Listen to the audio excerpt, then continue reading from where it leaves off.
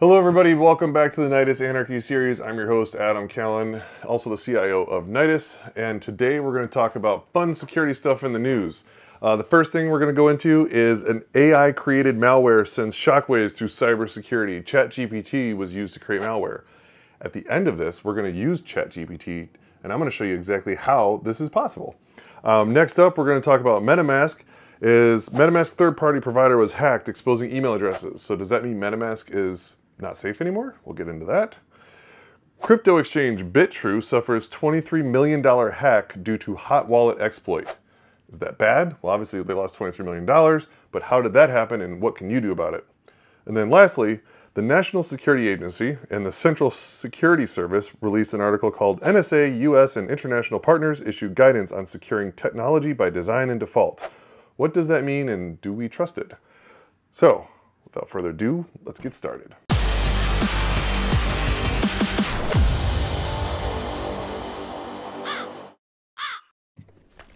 So the first one here is AI created malware sends shockwaves through cybersecurity world.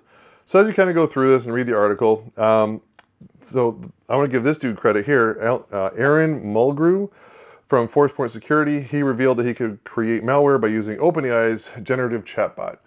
And this is obviously getting lots of attention nowadays is ChatGPT. Is it too scary? Is it getting too much out of control? Is it going to do things? And now when you hear this, it's like, oh, is ChatGPT going to create malware and go and just lock down everyone's computers? It could. I mean, it's not like it couldn't. Um, if you give it the right prompts, and that's pretty much what this guy did. So what's interesting about this is it really is only, it does have restrictive things in, in place, right? Like it, it goes into saying like, hey, you know, I can't give you things that are malicious. I can't do this or that. But people, since this thing was launched, have been trying to figure out ways to get ChatGPT to do malicious or funny things that it's not supposed to. I mean, that's kind of the nature of people. They're, as soon as technology is released, everyone tries to hack it to get something to, to get. I'm surprised. Has anyone gotten Doom to run on ChatGPT yet? I think like that's what, what we really need to be worried about here is let's, who's the first person to get Doom to run on ChatGPT? Let's, let's find that guy. But is this a big deal? It's not that big of a deal just because it's not really that hard to do. Um, but it's interesting in just that it's like, yes, it's making it very easy for basically a whole new world of script kiddies where you don't have to understand what you're doing.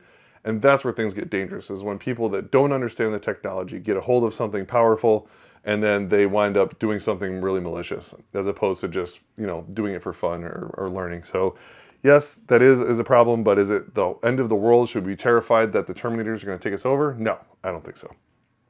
Next. Let's go into MetaMask third-party provider was hacked exposing email addresses. So this is obviously a clickbait article because they're using MetaMask to get you in to be like, oh my gosh, is MetaMask unsecure because it's protecting trillions of dollars with people's wallets around the world. But MetaMask wasn't hacked. The third-party provider. So basically what it turns out to is their one of their support systems that they use, a third party that they use for support, they got breached and a bunch of email addresses were basically stolen off. So is this bad? No. MetaMask is still safe. MetaMask wasn't breached. They're just using this to get you to read the article. So basically the article should read, some third-party support system had emails stolen. Now, why is this bad? Well, what this means is MetaMask let everyone know, saying, hey, between these two dates, you filed a ticket with us, your email may have been lost. Because what's going to happen is people are going to try to phish those people, right? They're going to start sending emails, hey, I'm from MetaMask support, send me your private key and I'll help you out. So what they're saying is, hey, don't believe it because we're never going to contact you asking for your private keys. We're not going to ask for your passwords or anything like that. So that's really where the breach is. It's just a security threat that they could be taken advantage of in a phishing attack because they have their email addresses and know that they have MetaMask and that they are having a problem. And generally, those the people that have a problem are a little bit more susceptible and open to being phished. So that's really all it is. MetaMask is fine. Whoever they used, they, they list their name in the article. They don't feel like I need cunts. I don't know. Doesn't really matter. We don't really name them out. Doesn't really matter because this kind of stuff happens all the time. Fit, just don't open any emails that you don't know. And if it's something in regards to something security or finance related, call them back. Email them back to the real email and say, hey, you know, I just want to validate that this is real before you do anything. And never give any passwords, never give any private keys, never give the last four of your social security number. And if you don't know why, you should go and check out the clip below because I'll tell you about exactly how, if you give the last four of your social security number to anyone, they can brute force and get your entire social security number really easily.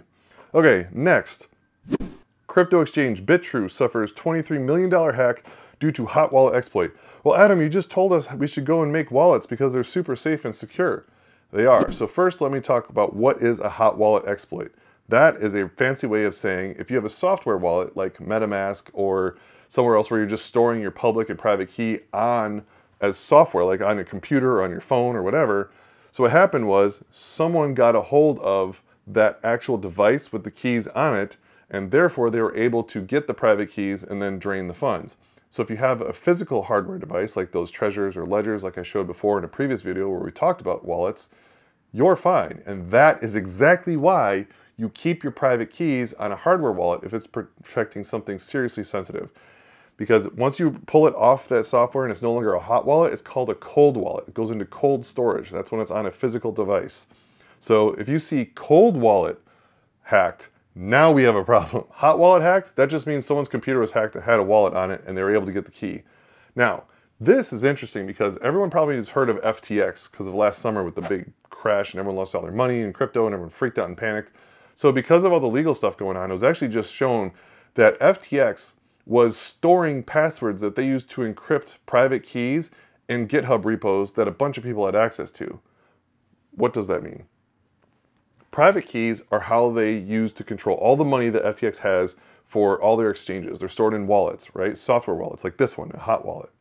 But those private keys, they had those encrypted. Now, normally you put those into something really good like a vaulting software. So you could use something like CyberArk, you could use AWS um, Secrets Manager. Um, there's Delinea's out there, there's a, Wallets is another one. So a lot of these do password vaulting, so you could store your secrets in there. Those, those are super safe places to keep secrets. They just used a password to encrypt those keys and said, hey, this is good enough. And then they took that clear text password and they checked it into a GitHub repo that was public. So a bunch of people had access to this password. So whoever had access to the password could decrypt the keys and bam, take the money. Unbelievably unsecure. So that was pretty interesting. Thought I'd bring that up. Last but not least, NSA, US, and international partners issue guidance on securing technology by design and default. This article goes on to say about how the NSA, the FBI, and all our security friends here in the US are going out to all these technology companies saying, hey, when you design your products, you really should think about security from the very beginning. And this is true. And it's actually a very good method. But the question really comes when you see things like this from agencies like this is, well, how much do you trust it? I mean, have these agencies ever been known to approach hardware manufacturers and say, hey, we're going to put something on your chips that you're sending over to this other country for their machines? No, that's never happened, right? So like I would take this with a grain of salt as to what's actually going on. It's kind of like, oh, a bunch of military SEALs died in a training exercise. Did they? you know what I mean? It's, it's kind of like that in the cyber world. Now let's get to the fun thing. So, in our first article, we talked about AI uh, created malware and how crazy that is. Well, right before this, I just decided, like, you know what? I bet I could probably do something very similar. So, I jumped into ChatGPT, and let me show you what I made. So here's the prompt that I gave ChatGPT. Write a shell script that will wait until a date long in the future to run that will find all the shell scripts on a server and encrypt them with a passphrase. This passphrase should be stored in an external file. The script should overwrite the original shell scripts with the encrypted ones.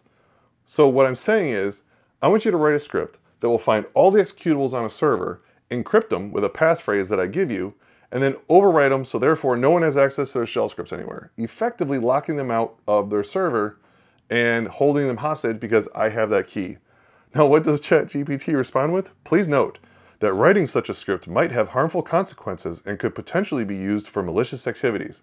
However, I can provide a script that will wait until a specific date to encrypt the shell script in a directory using a passphrase stored in an external file. The encryption is done using GPG utility, which you're not going to break, which you can have installed on your system. Here's the script, and then it goes through and writes out the entire shell script for me to do exactly that. Then I, I said, hey, can you update the script to delete the passphrase file and itself once it's completed? I've updated the script to delete the passphrase file once it's completing the encryption process. Please use the script responsibly and with caution. And then it gives me the script. So now what it's doing is I can install this script onto a box, say, hey, in a year from now, I want you to go through and encrypt all the shell script files and then delete yourself and the passphrase, and then boom, that server is locked out and no one knows what to do. And no one's gonna be sitting going, what the hell just happened? So ChatGPT just wrote malware.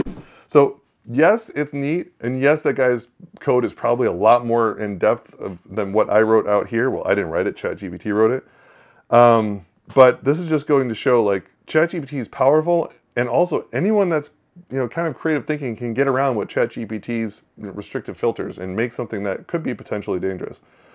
But from our from a security perspective, if something like this were on a server, it'd be picked up by scanners. Um, if, if this was put in place, we'd have backup. So if it were locked up, you're just going to revert from a backup from a couple hours ago. I mean, there's preventative measures in place from large corporations to prevent things from like this from going on in place in the first place. Um, but it doesn't mean you can still get around them, especially who knows what his code is. I haven't seen the full thing. Maybe it goes into more depth. But yeah, ChatGPT is pretty strong and pretty crazy.